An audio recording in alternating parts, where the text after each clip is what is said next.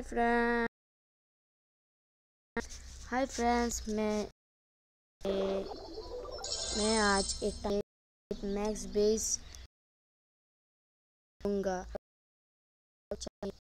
तो आप ए, आप व्यूज़ इस वीडियो पर मैं